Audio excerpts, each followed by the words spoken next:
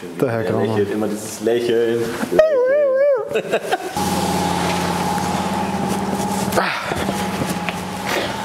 Ich weiß gar nicht, wie oft wir diese Treppe schon gefilmt haben. äh. Ja, keine Ahnung. So eins, zwei Mal war die schon drin, glaube ich. Haben wir schon gesagt, worum es heute geht? Nein. Nein, haben wir nicht. Hallo und herzlich willkommen zu Stapler TV. Ähm, heute geht es um das Thema Arbeitskörbe.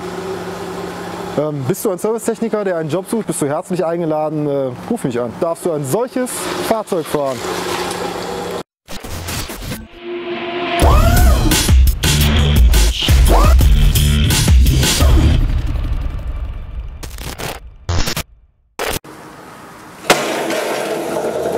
War ganz einfach. Ha?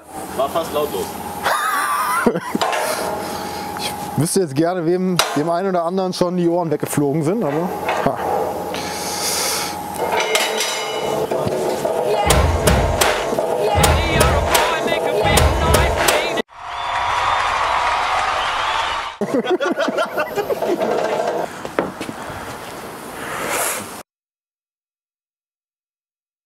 So, heute geht es um das Thema Arbeitskörbe. Wir haben zwei Arbeitskörbe, die wir so standardmäßig haben, hier ähm, für euch vorbereitet.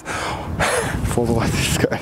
Ähm, und wollen die mal miteinander vergleichen, beziehungsweise wollen einfach mal auf so ein paar Details und Unterschiede eingehen und ähm, ja, wollen mal zeigen, worum geht es eigentlich. Von der Größe her sind die beide gleich und ähm, sie haben auch beide oben so ein klappbares Gitter, damit man eben, wenn jemand hier drin steht und man den Arbeitskorb anhebt, denjenigen nicht oben unter der Decke einquetschen kann oder so. Ähm, die Gitter sind jetzt unterschiedlich von der Befestigung. Hier ist es einmal hinten eine Schraube, und hier haben wir eben an der Seite so eine Abstützung, die dafür gedacht ist, dass eben ja, das nicht wieder runterklappt.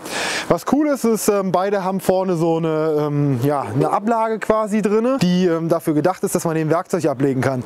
Die hier ist jetzt falsch rum montiert, aber ganz einfach aus dem Grund, ihr habt es eben gesehen, das Ding lag draußen bei uns im Regal. Ähm, der ist falsch rum montiert, da das ähm, so eben weniger Platz wegnimmt beim Zusammenbauen. Deswegen das runterklappen, das nach innen und dann ähm, ja, ist es eben ein bisschen einfacher zu verstauen. Die Dinger gibt es in verschiedensten Variationen. Das sind jetzt beides kleine Körbe für ja, ein bis zwei Mann eben. Die sind 80 x 80. Die gibt es aber auch noch eine Nummer größer, 1,20 Meter x 80. Das sind jetzt auch beides, ja gut, bei der, bei der ähm, quadratischen Form ist es eigentlich egal, von welcher Seite man einfährt.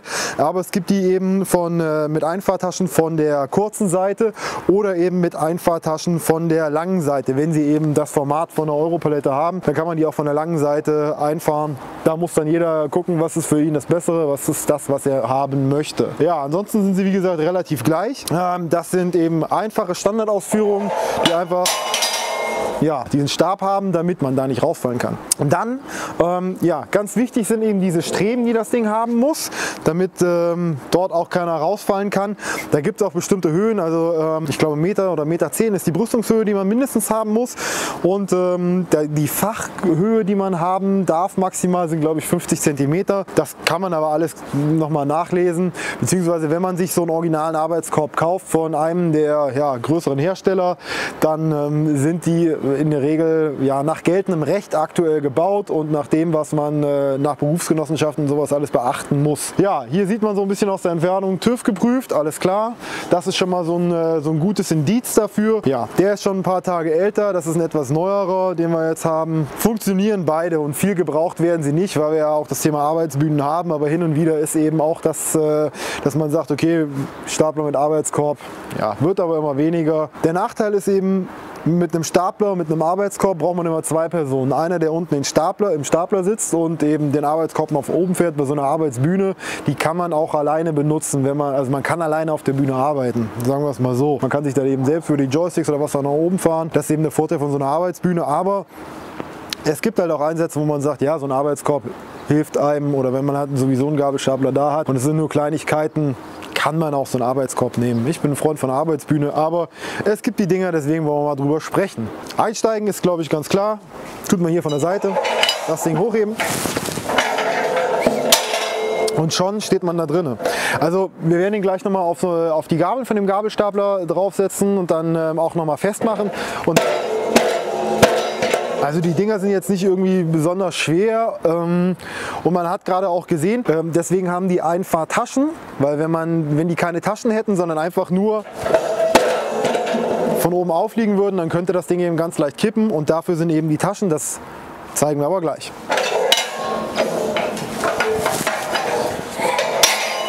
Noch ein weiterer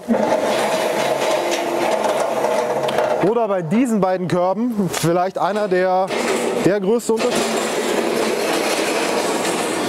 ist die ja, ja, Monsieur Kameramann. Vielleicht einer der größten Unterschiede ist ähm, die Sicherung am Gabelstapler. Und zwar haben wir hier zwei grundsätzliche Unterschiede, was die Sicherung am Gabelstapler anbelangt. Das hier ist so eher die Klassiker, äh, der, der Klassiker, wenn es auch um das Thema ähm, Gabelverlängerung geht. Das heißt, der wird aufgeschoben und wird dahinter gesichert, einfach mit diesem Bolzen. Ne? Bolzen dahinter,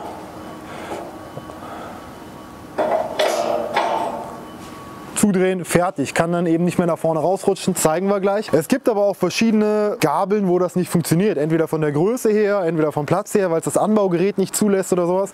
Und da kann man dann eben sowas nutzen hier mit diesen Ketten. Das heißt, die legt man irgendwo um den Gabelträger hinten rum, um das Anbaugerät rum, hängt es ein, ob da oder da drüben muss man dann schauen. Ähm, man muss sie eben auf die entsprechende Länge kürzen, so dass sie straff sitzt, so dass sie stramm sitzt und ähm, eben das Abrutschen von den Gabeln verhindert. Ja, das gibt so als Unterschiede bei den beiden zu beachten.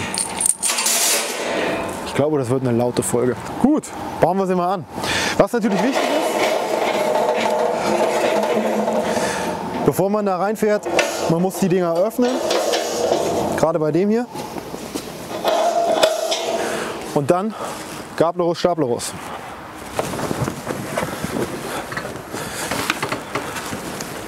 Anschnallen. Grüße gehen raus.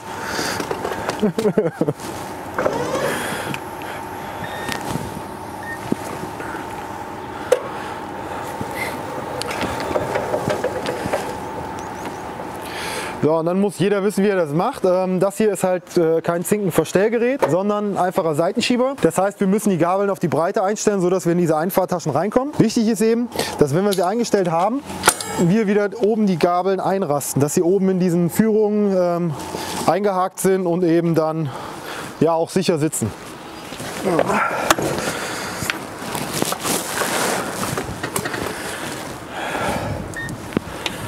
So, und dann können wir ganz langsam und vorsichtig dort reinfahren.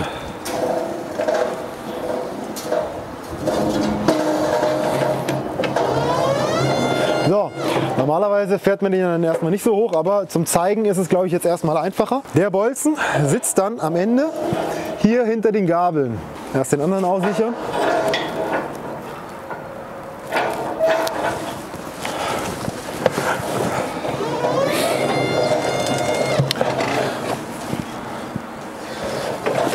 So, jetzt kann man da von unten nochmal dahinter gucken. Also, das hier ist ja der Gabelknick und der Bolzen sitzt jetzt hier dahinter. Und ähm, ja, ganz einfach durch die Schwerkraft, die Bolzen sind beide nach unten, ist es quasi die Rausfallsicherung. Der kann also nicht mehr rausfallen und kann eben nicht nach vorne abrutschen, weil er dann quasi hinter der Gabel, weil die Gabel quasi das Abrutschen selbst blockiert. Das ist eben die eine Möglichkeit, dafür sind diese da. Das ist auch ähm, bei Gabelverlängerungen beispielsweise, ist dieses System gang und gäbe. Einfach Bolzen durchgeschoben, der sich dann, der, den man verdrehen kann. Oder es gibt auch noch welche mit extra Splinten dabei und dann sind die gesichert gegen Abrutschen sozusagen. Ja, das ist dieses System. So, jetzt ähm, nochmal das Thema mit dieser Kette. Und zwar ist ja das Thema, ähm, wenn wir jetzt nur... Philipp hätte sich gerade mit dieser Palette fast auf die Schnauze gelegt. Ähm, Kette. Ja.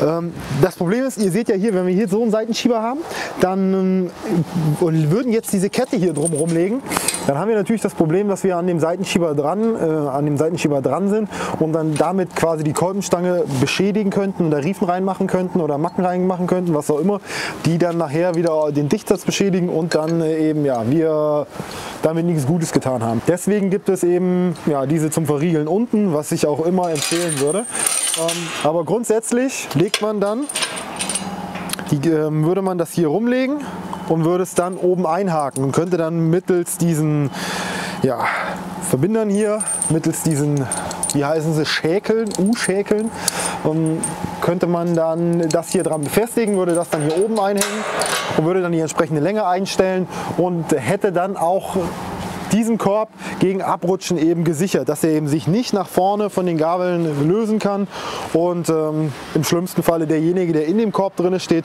mit den Gabeln dann abrutschen kann. Wir machen das jetzt mal, weil wir tatsächlich nicht damit arbeiten wollen, sondern weil wir es ja nur zeigen wollen.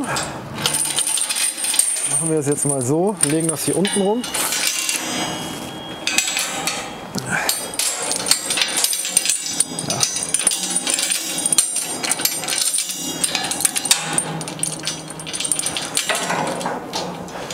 So, stellt euch vor, wir hätten es nicht da drum gewickelt, sondern hätten es tatsächlich gekürzt. Dann ist das jetzt quasi der maximale Weg, den der Korb noch nach vorne wegrutschen kann. Ja, und somit kommt er nicht von vorne äh, von der Gabelspitze vorne runter. Und derjenige, der in dem Korb drinne steht, kann also nicht da runterfallen.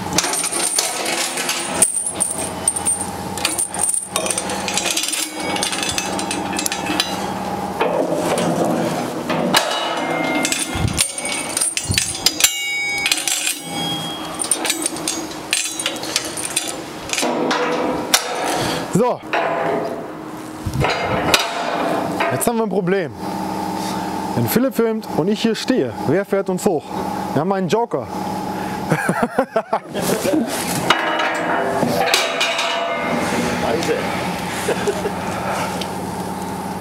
Jolien, hast du eigentlich einen Staplerschein? Wir sind ja unter fachkundiger Anleitung hier, also Guck mal, sie macht das wunderbar. Reinsetzen, Sicherheitsgurt anlegen.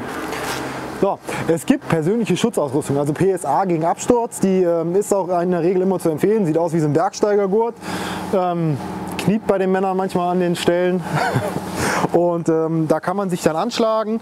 Ähm, da sind verschiedene, bei den Arbeitsbühnen sind verschiedene Anschlagpunkte und sowas dran. Kann man die einhängen, damit man eben im Fall der Fälle, wenn sowas dann gibt, ähm, nicht dort eben rausfallen kann. So, und jetzt, ich zeige euch das nochmal, warum sind die Einfahrtaschen so wichtig? Wenn man jetzt nämlich mit dem, für den Fall der Fälle, warum auch immer, sollte das Ding hier ähm, umkippen, dann schlägt, ähm, dann kann es eben von der Gabel nicht abrutschen, auch in der Sicht, sondern schlägt unten an und ähm, ja, nach vorne ist es gesichert über die Ketten, nach rechts und links kann es nicht mehr aufgrund der Einfahrtaschen. Ja, also dafür sind die da. Die Dinger gibt es auch für Hochhubwagen.